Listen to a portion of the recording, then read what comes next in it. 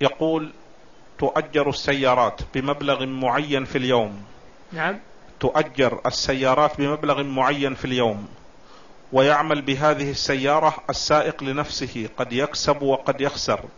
هل هذا الإيجار جائز؟